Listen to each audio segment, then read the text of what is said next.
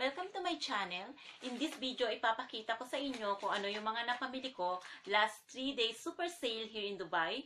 Napunta ako sa Sun and Sun Sports, Bur Dubai, last day na ng kanilang super sale. At dahil last day na nga ng kanilang super sale, wala na akong gaanong inabutan.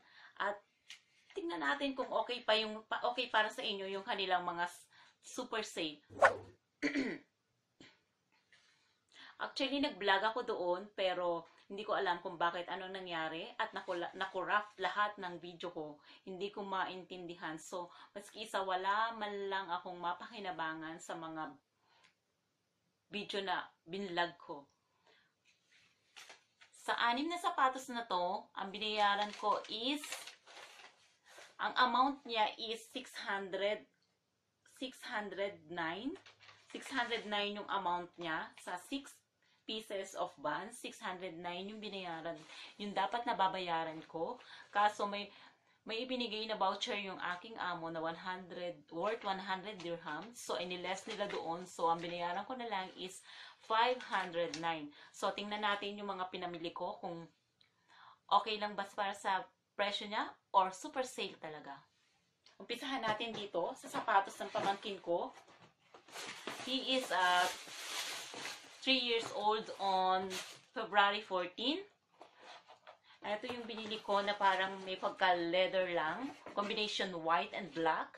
Super light, super light niya. Lightweight. Ito siya, old school classic. Old school classic. Ang price niya is mm, 209 before. Now is was is 209 and then now is 99 dirhams. So, super sale. Maganda siya. Parang leather na pagka-white. Wala nga lang sa pangmalaki nito. Sa size lang niya meron. Kaya, hindi ko, ito sana yung bibiling ko para sa bunso ko or sa panganay ko. Pero wala na silang size. Ito lang talagang pambata lang na size ang meron sila. Pero pag yung mga teen, wala na silang size nun. Next is itong para sa aking bunso. Para sa aking bunso. Authentic Decon. Authentic Metallic Canvas. Itong style niya. May pagka-metallic yung kulay niya. Combination of parang siyang gold. Gold and black.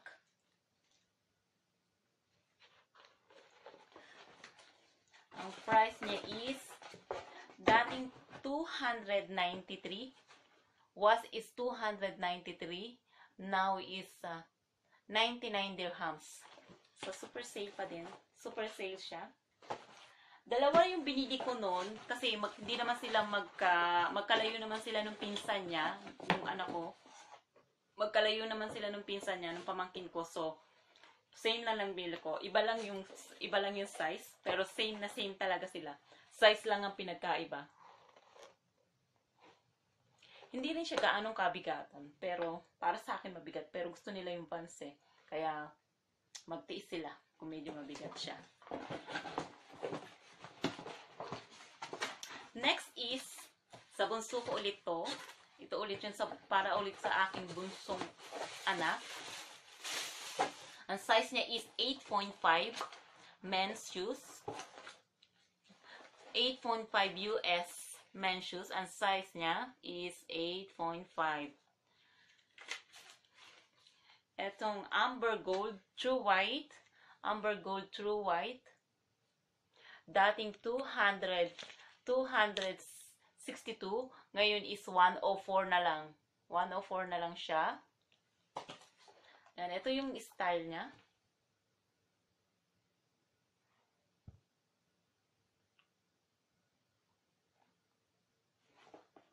Wala na kasing gaanong kulay talaga na mapagpipilian. So, ito na lang talaga yung mga medyo okay-okay doon.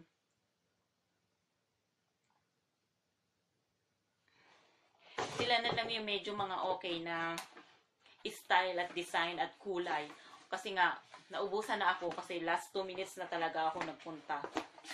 Talagang pinilit ko lang makapunta para maiuwi ko na to, maisabay ko na rin to sa pag-uwi ko on March 2019. Gusto nila ng Vans. Tinanong ko sila before, gusto nila is, ang pangalan ko is Jordan. Ngayon, Vans lang daw siya. But, 3 pieces. Each of them is 3 pieces. So, tig-tuto na to. Kulang pa ako ng, may utang pa ako sa kanila ng tig-isa. So, dalawa pa ang bibilin ko.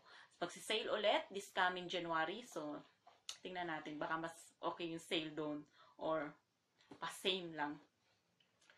Ito is sa panganay ko na. Ito ang ang hirap nilang basahin. Mi Mikiki O1, Mikiki O1. Hammer, mga, kayo na bumasa. Hindi ko mabasa. ang hirap basahin. Oh, ito is super sale talaga to. 293, now is 79 dirhams. Was is 293, now is 79 dirhams. At super light siya. Super light siya. Is yung back.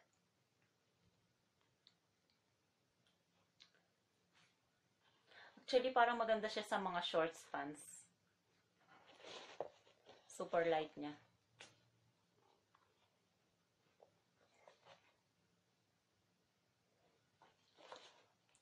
Ang size niya is US 9.5. US 9.5 kasi medyo matangkad yung panganay ko. Kaya saktong-sakto lang yung size niya. May allowance na yon, may allowance na siya. Pero alam ko naman kasi yung nakaraang size na binili ko sa kanila is sakto lang kaya ngayon medyo alam ko na yung mga size nila. Hindi ko lang alam yung sa dalawang pamangkin ko. And the last piece is also by my panganay, sa panganay ko. The last piece na. Etong wash herringbone navy. Wash herringbone navy. Wash siya na parang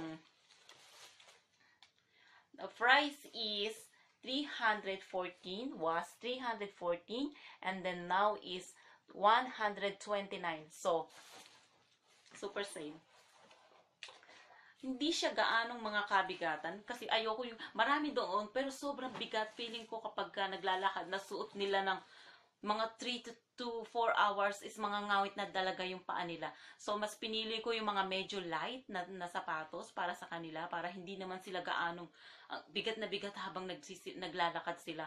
Kasi ang bigat talaga ng ibang vans. Ewan ko kung bakit ang bibigat nila.